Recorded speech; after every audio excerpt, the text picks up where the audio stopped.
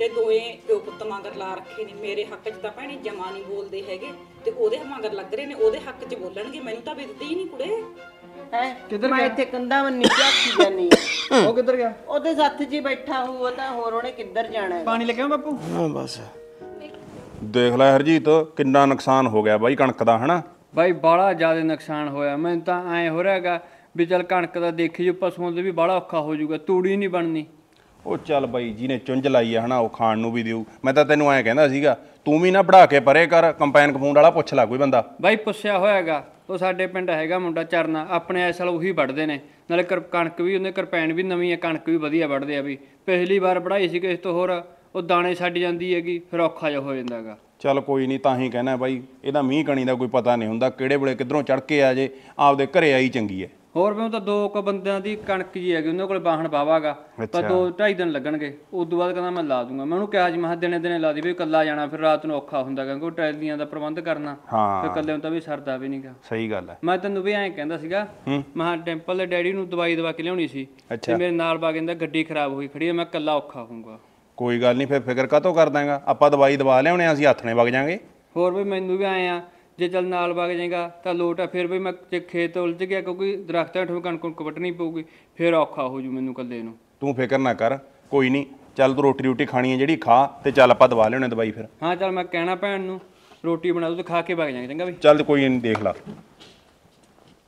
ਹਾਏ ਰੱਬਾ ਓਏ ਦਵਾਈਆਂ ਨੇ ਵੀ ਲਹੂ ਪੀ ਲਿਆ। ਏ ਏ ਓਏ ਓਏ ਓਏ ਮਰ ਗਿਆ ਓਏ ਹਾਏ ਤੇਰੇ ਮਾਸੜ ਨੂੰ ਕੀ ਹੋ ਗਿਆ ਹਾਏ ਮਾਸਟਰ ਨੂੰ ਕੀ ਹੋ ਗਿਆ? ਪੱਟੀ ਗਈ। ਭੈਣੇ ਬਾਪੂ! ਹਾਏ ਹਾਏ ਮਾਸਟਰ ਜੀ ਕੀ ਹੋ ਗਿਆ? ਕੀ ਹੋ ਗਿਆ? ਕੀ ਹੋ ਗਿਆ? ਚੱਕ ਇਹਨੂੰ ਬਾਪੂ! ਮੈਂ ਮੰਜੇ ਤੇ ਬਾਜ ਦਰ ਹਾਏ ਹਰਜੀਤ ਬਾਈ ਰਾਜ ਕੋਈ ਨਹੀਂ ਮਾਸੀ ਠੀਕ ਹੋ ਜੂ ਪਾਣੀ ਦੀ ਘੁੱਟ ਦੇ। ਪਾਣੀ ਪਾਣੀ। ਘੁੱਟ- ਬਸ ਲੈ ਪਾਣੀ ਪਾਣੀ ਪਾ ਦੇ। ਬੋਲ ਪਾ ਕੀ ਹੋ ਗਿਆ? ਬਾਈ ਰਾਜ। ਰਾਜ ਉਹ ਕੀ ਹੋ ਗਿਆ? ਪਤਾ ਨਹੀਂ ਪੁੱਤ ਦੇਖੀ। ਪੁੱਤ ਲੈ ਜਾ। ਮੇਰੀ ਗੱਲ ਸੁਣ। ਉਹ ਡਾਕਟਰ ਦੇ ਲੈ ਕੇ ਚੱਲਦੇ ਆ। ਇਹਨੂੰ ਗੱਡੀ ਦੇ ਕੋਲੇ ਲੈ ਕੇ ਆਓ। ਚੱਲ ਭੈਣੇ ਚੱਕੀ ਮੜ ਜਾ ਆ ਜਾ ਤਲਵਾਮਾ ਚੱਕ ਤੂੰ ਲਵਾਈ ਹੱਥ ਚੱਲ ਚੱਲ ਕੋਈ ਨਹੀਂ ਕੁਛ ਨਹੀਂ ਹੁੰਦਾ ਮਾਸੀ। ਫਿਕਰ ਨਾ ਕਰ ਤੂੰ। ਚੱਲ ਆ ਜਾ ਮਾਸੀ। ਉਹ ਮੈਂ ਪਾਣੀ ਦੀ ਘੁੱਟ ਲਿਆਉਣੀ ਆ ਲਿਆ ਪੁੱਤ ਘੁੱਟ ਪਾਣੀ ਦੀ। ਬਸ ਭੈਣੇ ਮਨ ਨਾ ਹੌਲਾ ਕਰ। ਹੌਸਲਾ ਰੱਖ। ਆਪਣੇ ਪਤਾ ਨਹੀਂ ਕੀ ਰੱਬ ਦਾ ਸੀ ਮਾੜਾ ਕਰਿਆਗਾ ਆ ਦਿਨ ਦੇਖਣੇ ਪੈ ਗਏ ਸਾਨੂੰ। ਨਹੀਂ ਚੱਲ ਕੋਈ ਨਾ। ਠੀਕ ਹੋ ਜਾਊਗਾ ਆ ਲੈ ਕੁਛ ਨੀ ਮਾਸੀ ਹੁੰਦਾ। ਪਾਣੀ ਦੀ ਘੁੱਟ ਭਰ ਲੈ ਕੋਈ ਨਹੀਂ ਠੀਕ ਹੋ ਜੂ ਮਾਸੜ ਫਿਕਰ ਨਾ ਕਰ। ਔਲਾਦ ਦਿੱਤੀ ਰੱਬਾ ਤੂੰ ਵੀ ਨਹੀਂ ਚੱਜ ਦੀ ਦਿੱਤੀ।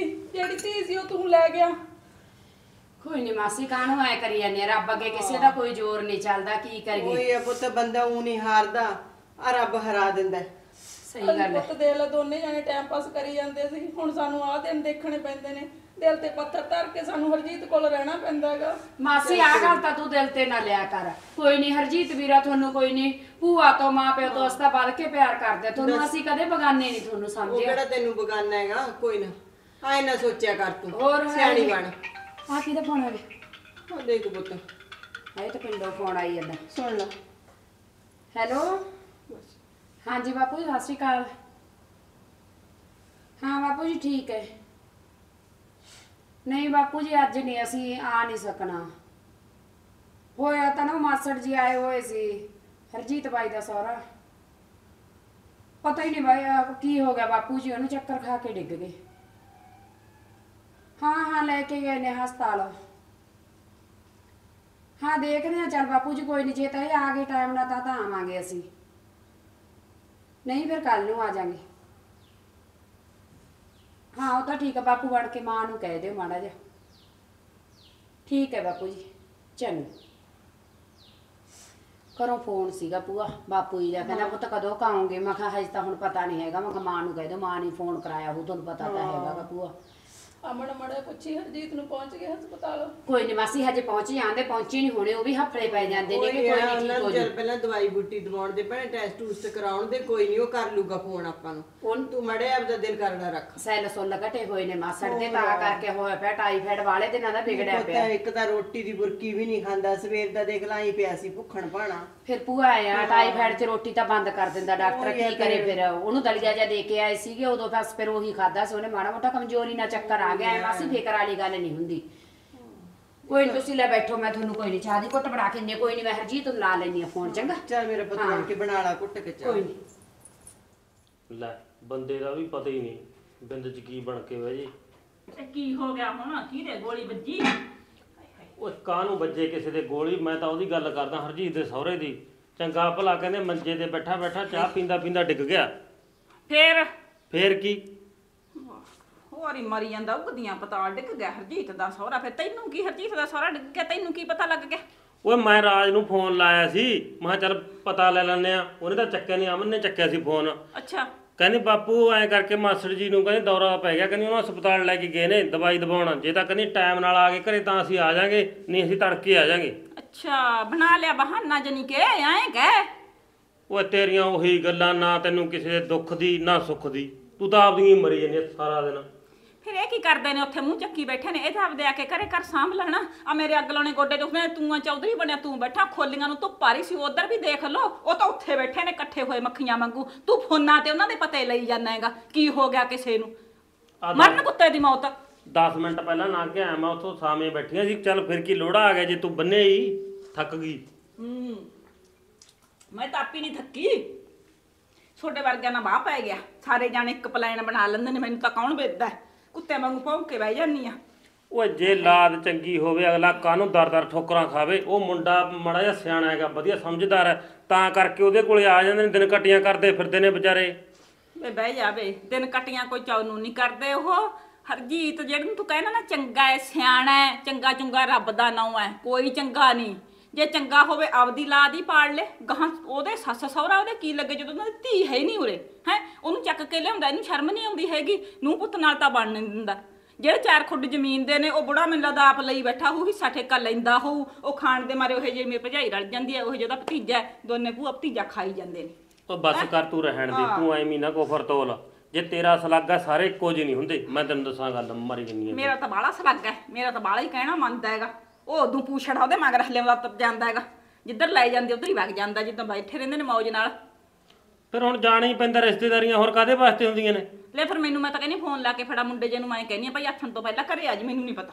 ਉਹ ਬਸ ਰਹਿਣ ਦੇ ਤੈਨੂੰ ਫੜਾ ਫੋਨ ਲਾ ਕੇ। ਆ ਜਾਣਗੇ ਕੋਈ ਨਹੀਂ ਫਿਰ ਕੀ ਇੱਥੇ ਕੋਈ ਬਾਹਲਾ ਤੇਰਾ ਕੰਮ ਲੌਂਕਿਆ ਪਿਆ ਤੜਕੇ ਆ ਜਾਣਗੇ। ਤੈਨੂੰ ਪਤਾ ਹੈ ਕਿ ਮੈਂ ਗੋਡੇ ਕੜੀਸ ਕੜੀਸ ਮੈਂ ਘਰ ਦਾ ਕੰਮ ਧੰਦਾ ਕਰਦੀ ਆ ਮੈਂ ਸਤਾਂ ਨਾਲ ਚੁੱਲ੍ਹੇ ਦਾ ਫੁੱਕ ਅੱਗ ਲਾਇਆ। ਫਿਰ ਤੂੰ ਖੋਲੀਆਂ ਕਨੀ ਨਹੀਂ ਜਾਂਦਾ ਮੌਜ ਨਾਲ ਤੂੰ ਅੰਦਰ ਵੜਿਆ ਬੈਠਾ ਰਹਿਣਾ ਹੈਗਾ। ਉਹ ਤੂੰ ਮੇਰੀ ਗੱਲ ਸੁਣ ਲੈ ਚੱਲ ਕੋਈ ਨਹੀਂ ਅਗਲੇ ਤੇ ਬਿਪਤਾ ਪਈ ਹੈ ਏਡੀ ਵੱਡੀ ਬੜਾ ਮੋਟਾ ਰਿਸ਼ਤੇਦਾਰੀ ਨਾਲ ਖੜਦੇ ਹੁੰਦੇ ਨੇ ਹੋਰ ਕੌਣ ਖੜਦਾ ਹੁੰਦਾ? ਨਾਲੇ ਜੇ ਕੱਲ ਨੂੰ ਚੱਲ ਆਉਣਗੇ ਹੋਰ ਤੂੰ ਕੁੜੀ ਨੂੰ ਨਾ ਪੁੱਠਾ ਸਿੱਧਾ ਬੋਲ ਪਈ ਐਵੇਂ ਕਿਤੇ ਹੋਰ ਇੱਥੇ ਪੰਜ ਖੜਾ ਕਰਦੇ। ਤੇ ਅੱਗੇ ਰੋਜ਼ ਹੀ ਪੁੱਠੇ ਸਿੱਧੇ ਬੋਲਦੀਆਂ ਮੈਂ ਮੈਂ ਤਾਂ ਕਿਸੇ ਨੂੰ ਕੁਛ ਨਹੀਂ ਕਹਿੰਦੀ। ਮਰੋ ਕੁੱਤੇ ਦੀ ਮੌਤ ਜੀ ਨੇ ਮਰਨਾ। ਮੈਨੂੰ ਕੌਣ ਵਿਦਦਾ ਹੈ? ਉਹ ਤੂੰ ਤਾਂ ਆਪਦੇ ਆਪ ਆਪਦੀ ਕਦਰ ਘਟਾਈ ਇੰਨੀ ਗੱਲ ਨਹੀਂ ਬਾਤ ਨਹੀਂ ਮੈਨੂੰ ਤਾਂ ਕੋਈ ਨਹੀਂ ਕੁਛ ਕਹਿੰਦਾ ਤੂੰ ਮੈਨੂੰ ਤਾਂ ਲੱਗਦਾ ਜੁੱਤੀਆਂ ਖਾਇਆ ਕਰ। ਸ਼ੌਂਕ ਹੈ ਸ਼ੌਂਕ ਹੈ ਮੈਨੂੰ ਥੋਥੋਂ ਬੇਇੱਜ਼ਤੀ ਕਰਾਉਣ ਦਾ। ਅੱਗ ਲੱਗਦਾ ਮੈਥੋਂ ਖਰਾਬ ਹੁੰਦਾ ਚੱਲਿਆ ਨਹੀਂ ਜਾਂਦਾ ਮੈਂ ਤਾਂ ਕਦੇ ਇੱਕ ਬਿੰਦ ਨਹੀਂ ਸੀ ਪੈਰ ਪੱਟਦੀ ਕਿਸੇ ਪਾਸੇ। ਇਹਨਾਂ ਨੂੰ ਹੈ ਹੀ ਨਹੀਂ ਚੜੀ ਲੱਥੀ ਦੀ ਮੌਜ ਨਾਲ ਵਗ ਜਾਂਦੇ ਨੇ ਜਾ ਕੇ ਬਹਿ ਜਾਂਦੇ ਨੇ ਤੁਰੇ ਫਿਰਦੇ ਨੇ ਸੈਲ ਵੇਲੇ ਕਰਦੇ। ਫਿਰਦੇ ਰਹੋ ਬੁੜੇ ਠੇਰੇ ਲੰਕਦੇ। ਓਏ ਆਹੀ ਟਾਈਮ ਹੈ ਉਹਨਾਂ ਦਾ। ਹੋਰ ਕੀ ਕੀ ਨੇ ਕਿੱਥੇ ਜਾਣਾ? ਉਸ ਤੋਂ ਬਾਅਦ ਕਬੀਲਦਾਰੀਆਂ 'ਚ ਫਸ ਜਾਣਗੇ ਜਵਾਕ। ਆਪਦੇ ਕੰਮ ਹੀ ਨਹੀਂ ਲੋਟਾਉਂਦੇ। ਕੌਣ ਜਾਂਦਾ ਹੈ ਕਿਤੇ ਕੌਣ ਆਉਂਦਾ ਹੈਗਾ?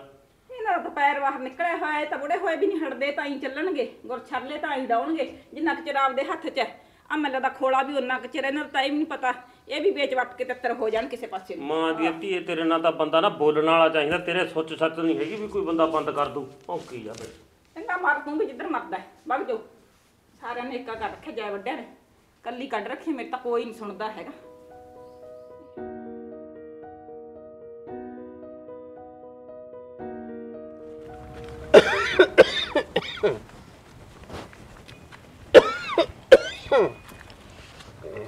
ਕੋਈ ਨਹੀਂ ਜੀ ਕੋਈ ਨਹੀਂ।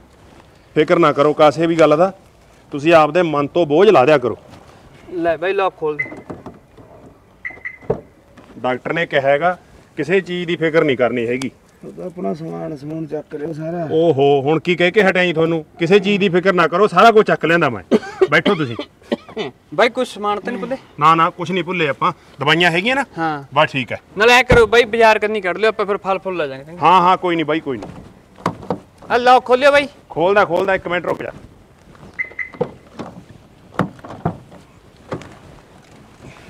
ਲੈ ਰੱਬ ਨਾ ਬਾਈ।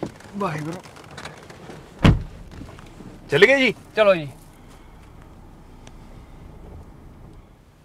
ਉਹ ਆ ਗਏ ਮਾਸੜ ਵਾਲੇ। ਬਹਿ ਜਾ ਮਾਸੜ ਜੀ। ਇੱਥੇ ਪਾਲਾ ਬਈ। ਮੈਂ ਸਾਹਣਾ ਲਿਉਣੀ ਲਿਆ ਪੁੱਤ ਸਰਾਣਾ ਕੀ ਕਹਿੰਦਾ ਹਰਜੀਤ ਡਾਕਟਰ? ਕੁਛ ਨਹੀਂ ਕਹਿੰਦਾ ਠੀਕ ਹੋ ਜੂ ਮਾੜੀ ਟੈਨਸ਼ਨ ਵੱਧ ਲੈ ਜਾਂਦੇ ਨੇ ਉਹਦੇ ਕਰਕੇ ਚੱਕਰ ਚੁੱਕਰ ਆ ਗਿਆ। ਚੱਲ ਹਜੇ ਵੀ ਸ਼ੁਕਰ ਹੈ। ਆ ਲਓ ਮਾਸੜ ਜੀ ਇੱਥੇ ਪੈ ਜਾਓ। ਆ ਬੈਠੋ। ਪਾਣੀ ਲਿਆਵਾਂ ਉਹਦਾ ਮੈਂ ਜੂਸ ਪਿਆ ਲਿਆ ਸੁਣਦੇ ਹੋਏ। ਅੱਛਾ ਅੱਛਾ। ਬਾਪੂ ਜੀ ਪੀਣਾ ਪਾਣੀ? ਨਾ ਪੁੱਤ ਪਾਣੀ ਨਹੀਂ ਪੀਣਾ। ਕਿੰਨੇ ਦਿਨਾਂ ਦੀ ਦਵਾਈ ਦੇਤੀ ਪੁੱਤ? ਹਫ਼ਤੇ ਦਿੱਤੇ ਕਹਿੰਦਾ ਦੁਬਾਰੇ ਦਿਖਾ ਕੇ ਲੈ ਜਿਓ ਚੱਲ ਹੁਣ ਕੋਈ ਫਿਕਰ ਵਾਲੀ ਗੱਲ ਤਾਂ ਨਹੀਂ? ਨਾ ਨਾ ਕੋਈ ਫਿਕਰ ਵਾਲੀ ਗੱਲ ਟੈਸਟ ਵਗੈਰਾ ਕਰਾਏ ਨਹੀਂ ਟੈਸਟ ਕਰਵਾਏ ਸੀਗੇ। ਕੀ ਬਸ ਆਇਆ? ਕਮਜ਼ੋਰੀ ਆ ਕੋਈ ਸੈੱਲ ਜੇ ਘਟ ਗਏ ਸੀਗੇ।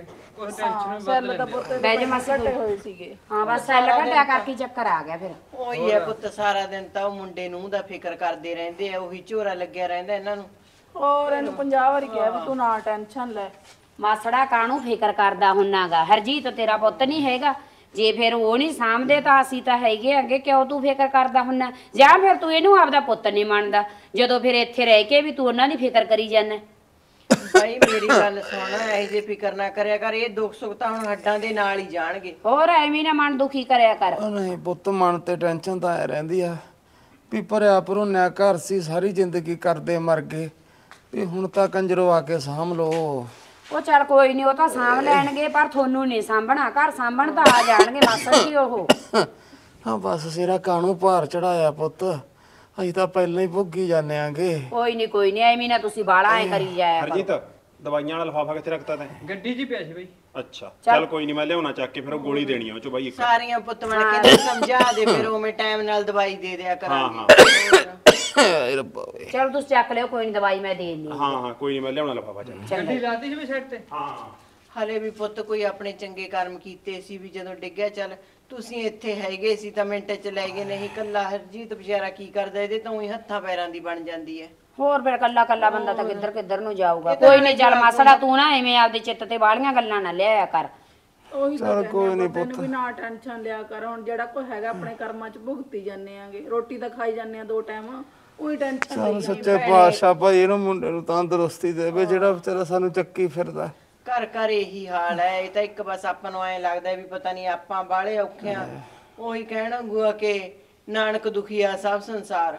ਇਹ ਤਾਂ ਗੱਲ ਸਹੀ ਹੈ ਪੂਆ ਜੀ ਤੇਰੀ। ਉਹ ਗੱਲ ਤਾਂ ਭੈਣ ਜੀ ਆਇਆ ਦਰ ਦਰ ਦੀਆਂ ਠੋਕਰਾਂ ਖਾਣ ਲਈ ਮਜਬੂਰ ਕਰਤਾ ਗੰਦੀ ਲਾਦ ਨੇ। ਫਿਰ ਹੁਣ ਕੀਤਾ ਕੀ ਜਾਵੇ?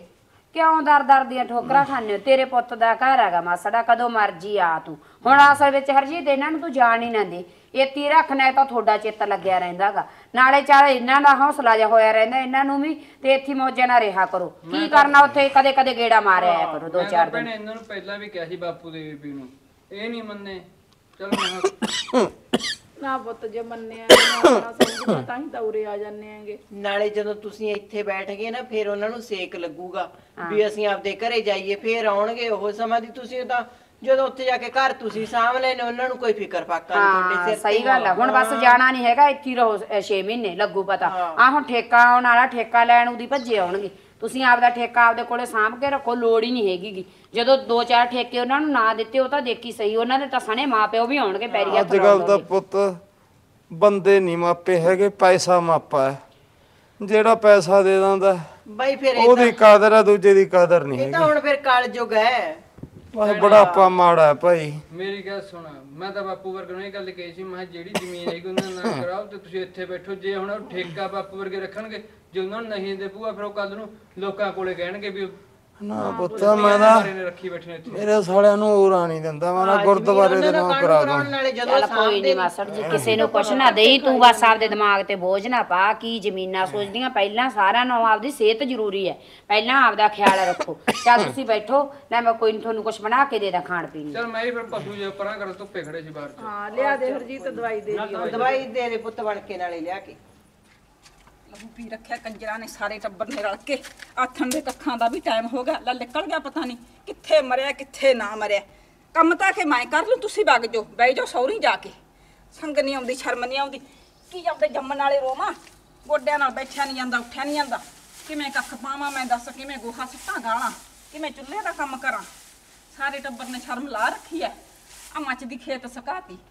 ਉਦੋਂ ਕਹਿ ਦਿੰਦੀ, ਵੇ ਵੱਢ ਲਿਆਓ ਹਰਾ। ਨਾ, ਅੱਜ ਤਾਂ ਗਿੱਲਾ ਪਿਆ। ਕੱਲ ਨੂੰ ਲਿਆਵਾਂਗੇ ਵੱਢ ਕੇ। ਉਹ ਉੱਥੇ ਹੀ ਸਕਾਤੀ। ਹਰੀ ਤਾਂ ਲਿਆ ਕੇ ਹੀ ਨਾ ਦਿੱਤੀ। ਐਨੀ ਕਿ ਲਿਆਉਂਦੇ ਜਿਵੇਂ ਕੋਈ ਬੱਕਰੀ ਨੂੰ ਪਾਉਣੀ ਹੁੰਦੀ ਹੈ। ਬੇਸ਼ਰਮਾਨ ਸ਼ਰਮ ਲਾ ਲਈ। ਵੀ ਹੁਣ ਹੱਥ ਨਾਲ ਵੀ ਤਾਂ ਗਾੜ ਦੇ ਪਾ ਦੇ ਮੈਂ ਚੁੱਲ੍ਹੇ ਬਣੀ ਹੋ ਜਾ ਮਾੜਾ ਮੋਟਾ ਕੋਈ ਟੁਕੜਾ ਥੱਪ ਲਾ ਆਏ ਹੈ ਢਿੱਡ ਭਰ ਲਾਂਗੇ ਪੁੱਤੇ ਦਾ। ਢਿੱਡ ਤਾਂ ਮੰਗਦਾ ਖਾਣ ਨੂੰ ਹੱਥਾਂ ਤੜਕੇ। ਉਰੇ ਆ ਵੇ। ਆ ਗਿਆ।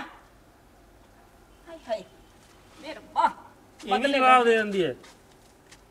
ਭਾਸ਼ਣ ਦੀ ਇਹਨੇ ਮਸ਼ੀਨ ਨੂੰ ਲੋਹਾ ਵੀ ਬੋਲਦਾ ਹੈ।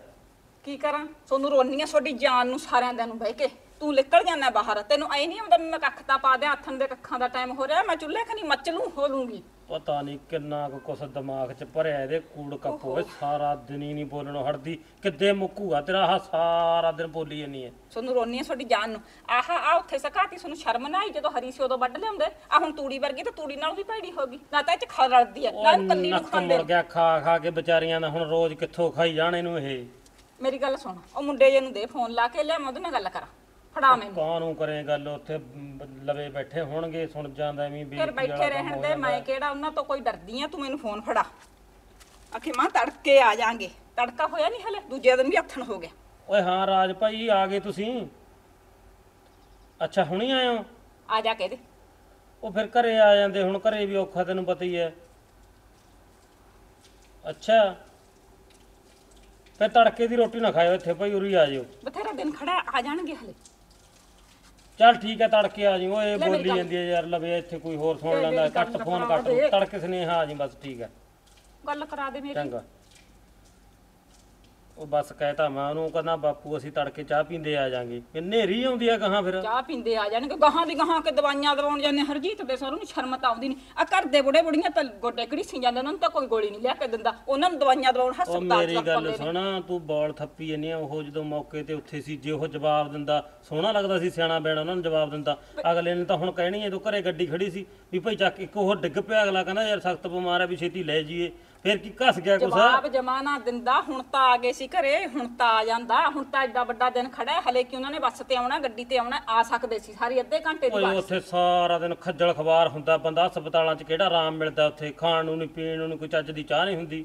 ਹੁਣ ਆ ਕੇ ਘਰੇ ਡਿੱਗੇ ਨੇ ਪਾਣੀ ਦੀ ਘੁੱਟ ਨਹੀਂ ਪੀਤੀ ਉਧਰੋਂ ਮੈਂ ਫੋਨ ਲਾਦਾ। ਨਾਲ ਉਹ ਤਾਂ ਪਿਆ ਪਹਿਲੀ ਬੈਠਾ ਹੈ। ਮੇਰੀ ਗੱਲ ਇੱਕ ਹੋਰ ਸੁਣ ਲੈ ਜਿੰਨੇ ਪੈਸੇ ਲਗਾ ਸਾਰਿਆਂ ਤੇ ਫੂਕ ਮਾਰ ਕੇ ਉਹ ਉਹ ਹਰਜੀਤ ਹੈ ਨਾ ਐਡਾ ਵਿਗੜਿਆ ਲੁੱਚਾ ਬੰਦਾ ਹੈ ਨਾ ਉਹ ਰਾਜ ਤੋਂ ਲਵਾਉ ਸਾਰੇ ਪੈਸੇ ਦਵਾਈਆਂ ਬੂਟੀਆਂ ਸਹੁਰੇ ਦੇ ਵੀ ਲਵਾਊਗਾ ਉਹ। ਉਹ ਸਾਲਾ ਪੜੋਈਆ ਨੇ ਯਾਰ ਜਿਵੇਂ ਮਰਜ਼ੀ ਕਰਨ ਤੈਨੂੰ ਕੀ ਟੈਨਸ਼ਨ ਲੈਣੀ ਹੁੰਦੀ ਲੋੜ ਹੀ ਉਹ ਚੁੰਡੀ ਨਹੀਂ ਵਡਾਉਂਦੇ ਹੈਗੇ ਹੈ। ਇਹ ਮੂਰੇ ਹੋ ਜਾਂਦੇ ਨੇ ਚੌੜੇ ਆਪਣੇ ਵਾਲੇ ਪਾਡੇ ਵਾਲੇ ਨੇ। ਤੇਰੇ ਵਰਗੇ ਨੇ ਪਰ ਤੂੰ ਬਥੇਰਾ ਪਾਡਾ ਹੈ।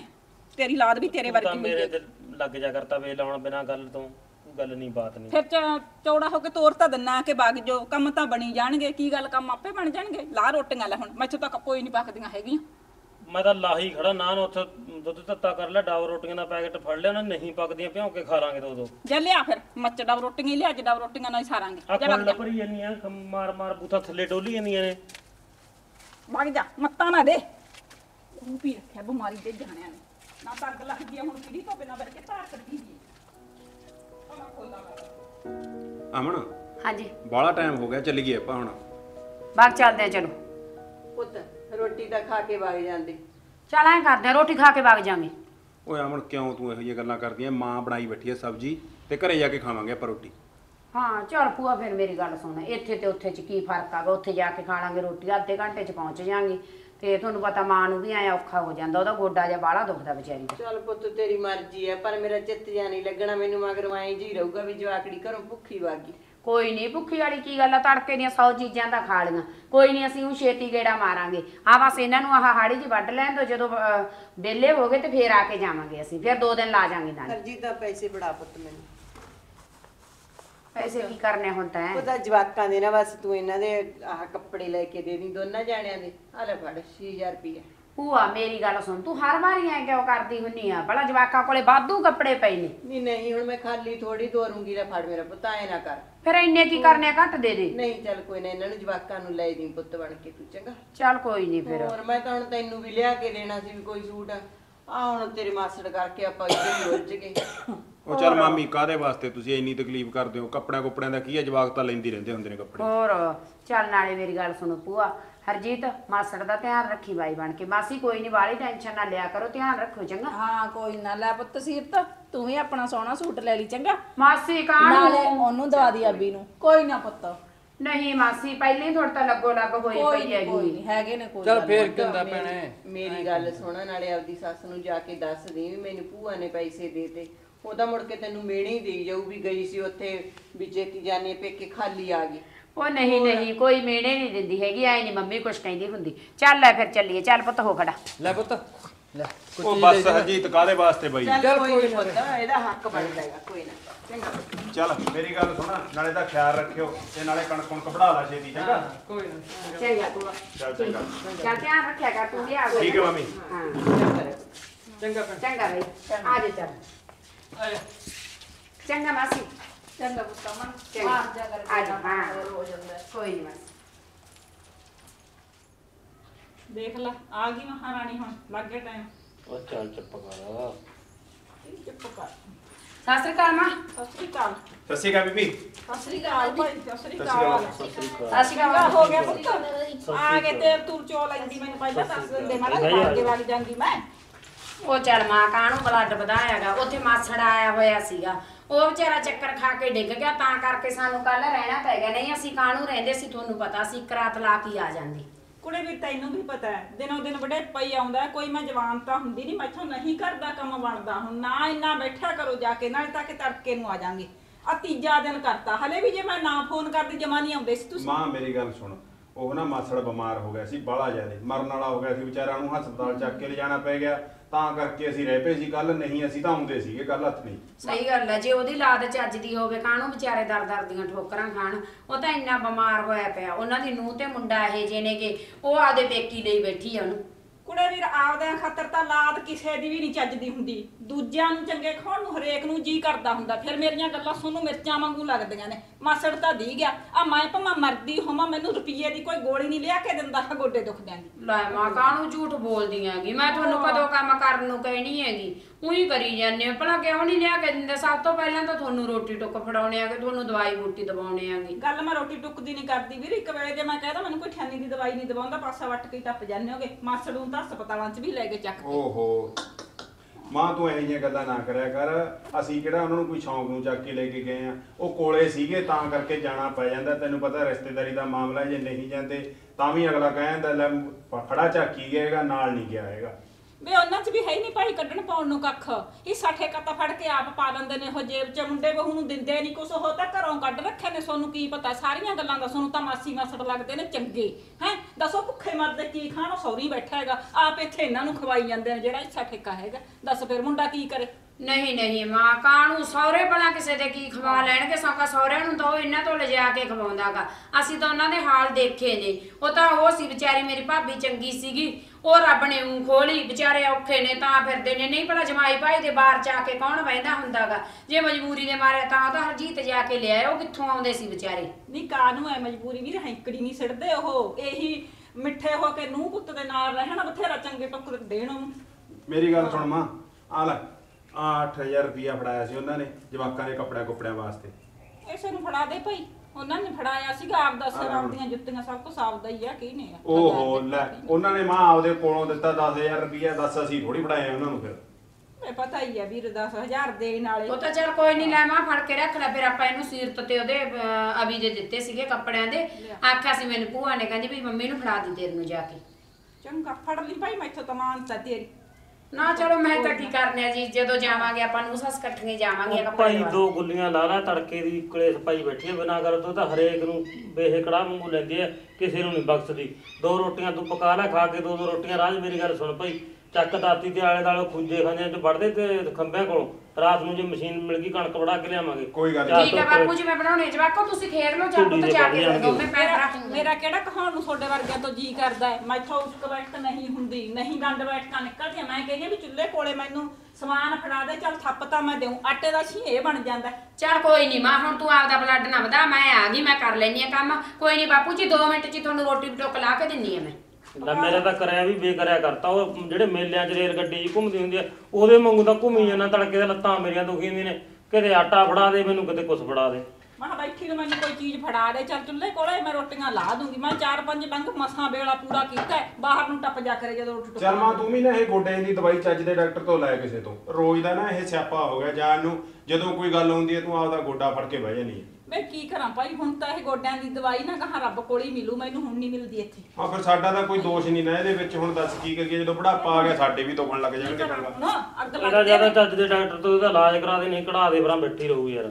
ਉਹ ਬਾਪੂ ਕਢਾਉਣ ਨੂੰ ਦੱਸ ਹੁਣਿਆ ਐ ਗੋਡੇ ਵੀ ਥੋੜੀ ਨਿਕਲਦੇ ਹੁੰਦੇ ਨੇ। ਇਹ ਤਾਂ ਜ਼ਿਆਦਾ ਨਵਾਂ ਪੈਂਦਾ ਹੁੰਦਾ ਹੈ। ਇਹਦੇ ਆਪਾਂ ਸਾਰੇ ਦਿਖਾ ਲਏ ਇਹ ਨਵੇਂ ਵੀ ਨਹੀਂ ਪੈਂਦੇ ਹਨ? ਕਿੱਧਰ ਗਈ ਸੀ ਕੁੜੀਏ? ਮੈਂ ਤਾਂ ਚਾਚੀ ਕੇ ਘਰੇ ਗਈ ਸੀ। ਚਾਚੀ ਕਹਿੰਦੀ ਹਰਸ਼ ਨੂੰ ਸਵਾ ਦੇ ਵੀ ਮੈਂ ਕੱਪੜੇ ਧੋਣੀ ਆ। ਅੱਛਾ। ਤੂੰ ਜਾਣਦਿਆ ਕਰ ਲੋਕਾਂ ਦੇ ਜਵਾਕਾਂ ਦੀ ਮਾਂ ਬਣਨ ਨੂੰ। ਸਾਰਾ ਦਿਨ ਸਾਰਾ ਦਿਨ ਕੌਲੇ ਕੱਛਦੀ ਤੁਰੀ ਫਿਰੂਗੀ। ਮੇਰੀ ਗੱਲ ਸੁਣ ਲੈ, ਜੋ ਤੇਰੀ ਮਾਂ ਪਹਿਲਾਂ ਤਾਂ ਉਹ ਕੁਮਾਰੀ ਮਾਂ ਬਣੀ। ਜੇ ਉਹ ਕੁਮਾਰੀ ਮਾਂ ਬਣੀ ਤਾਂ ਤੂੰ ਇੱਥੇ ਮੈਨੂੰ ਰੋਟੀ ਲਾਈ। ਕਿੱਥੇ ਲਹੂ ਪੀਤਾ, ਗੰਦੀ ਲਾਦ ਨੇ। ਨਾ ਮੇਰੀ ਕੋਈ ਸੁਣੇ, ਨਾ ਕੋਈ ਗਿਣੇ। ਵੀ ਉਹੀ ਭੌਂਕੀ ਜਾਂਦੀ ਹੈ ਪਛਤਾਉਂਦੀਆਂ, ਇੱਕ ਤਾਂ ਮਾਵਾਂ ਧੀਆਂ ਦੋਨੇ। ਮੇਰਾ ਕੀ ਕਸੂਰ ਸੀ? ਮੈਂ ਤਾਂ ਖੇਡਣ ਗਈ ਸੀ। ਦਾਦੀ ਨੇ ਮੇਰੇ ਉਹੀ ਮਾਰਿਆ। ਦਾਦੀ ਮੇਰੇ ਨਾਲ ਹਰ ਵਾਰੀ ਐਵੇਂ ਫ਼ਰਕ ਕਰਦੇ ਆ। ਕੀ ਹੋ ਗਿਆ ਪੁੱਤ? ਸਿਰ ਤੇ ਰੋਈ ਤੇ ਜਾਂਦੀ ਹੈ ਦਾਦੀ ਨੇ ਮਾਰਿਆ। ਦਾਦੀ ਨੇ ਮਾਰੇ ਕਾਹਤੋਂ ਮਾਰੇ ਮੈਂ ਤਾਂ ਚਾਚੀ ਕੇ ਘਰੇ ਖੇਡਣ ਗਈ ਸੀ। ਚਲ ਕੋਈ ਨਹੀਂ ਚੁੱਪ ਕਰ ਜਾ ਪੁੱਤ। ਤੇਰੀ ਦਾਦੀ ਦੀ ਤਾਂ ਜਮਾ ਹਾਦੀ ਪੱਟੀ ਪਈ ਹੈਗੀ। ਹਰ ਗੱਲ ਤੇ ਜਵਾਕੜੀ ਨੂੰ ਕਹਿੰਦੀ ਕੋਈ ਨਹੀਂ ਆ ਜਾ ਪੁੱਤ ਤੂੰ ਅੰਦਰ ਚੱਲ ਕੋਈ ਨਾ ਆ ਜਾ। ਤੇਰੀ ਦਾਦੀ ਨੂੰ ਮੈਂ ਦਿੰਨੀ ਆ ਪਤਾ। ਮਾਂ ਤੈਨੂੰ ਕੋਈ ਸੰਗ ਸ਼ਰਮ ਹੈਗੀ ਆ ਜਾਂ ਨਾ ਹੈਗੀ ਆ? ਕੀ ਗੱਲ ਆ? ਬੋਲਦੀ ਕਿਵੇਂ ਆ ਤੂੰ ਮੈਨੂੰ? ਕਿਉਂ ਬੋਲਾਂ ਨਾ? ਕੀ ਗੱਲ ਤੁਸੀਂ ਸੀਰਤ ਦੇ ਕਿਉਂ ਮਾਰਿਆ? ਕੀ ਮਾੜਾ ਕੀਤਾ ਤੁਹਾਡਾ ਜਵਾਕੜੀ ਨੇ? ਕਿਉਂ ਉਹਦੇ ਹੱਥ ਧੋ ਕੇ ਮਗਰ ਪਏ ਹੋ ਤੁਸੀਂ? ਕੀ ਗੱਲ ਆ? ਸਾਰੇ ਟੱਬਰ ਨੇ ਚਮੜਾ ਰੱਖੀ ਆ ਮੈਂ ਵੀ ਨਾ ਮਾਰਾਂ ਮੈਂ ਵੀ ਨਾ ਉਹਨੂੰ ਕਿਸੇ ਕਿੱਤੇ ਲਾਵਾਂ ਕਿਉਂ ਗੋਲੀ ਕੀ ਮਾਰੀ ਉਹਦੇ। ਤੂੰ ਕਰ ਕੀ ਦਿੱਤਾ? ਮੈਨੂੰ ਐਂ ਤਾਂ ਦੱਸ ਦੋ ਵੀ ਉਹਨੇ ਜਵਾਕੜੀ ਨੇ ਕਰ ਕੀ ਦਿੱਤਾ? ਕੁੜੇ ਸੰਗ ਮੰਨ ਲਾ ਮਾੜੀ ਮੋਟੀ ਦਿਨ ਛੇਪਣ ਤੇ ਆ ਰਿਹਾ ਕਿਹੜੇ ਵੇਲੇ ਦੀ ਕੁੜੀ ਗਈ ਆ ਬਾਹਰ ਖੇਡਣ?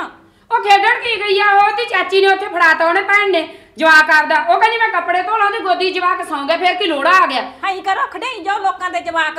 ਮਾਮਾ ਧੀਆਂ ਨੇ ਸੰਗ ਲਾ ਰੱਖੀ ਆ ਜਮਾ। ਸੰਗ ਕੀ ਲਾ ਰੱਖੀ ਐ ਮੈਂ ਤਾਂ ਕਦੇ ਘਰੋਂ ਹੀ ਨਹੀਂ ਬਾਹਰ ਪੈਰ ਧਰਿਆ। ਫੇਰ ਕੀ ਹੋ ਗਿਆ ਜੇ ਜਵਾਕਾਂ ਨਾਲ ਜਵਾਕ ਖੇੜਾ ਤੁਸੀਂ ਫਿਰ ਜਮੀ ਉਹਨੂੰ ਆਏ ਗੋਲੀ ਬਣਾ ਰੱਖਿਆਗਾ ਕੋਈ ਗੱਲ ਹੈਗੀ? ਕਦੇ ਕੰਮ ਕਰ ਲੈ ਕਦੇ ਕੁਛ ਕਰ ਲੈ। ਨਹੀਂ ਕਰਦੀ ਜਦੋਂ ਕੰਮ ਮੈਂ ਕਰਦੀ ਹੈਗੀ।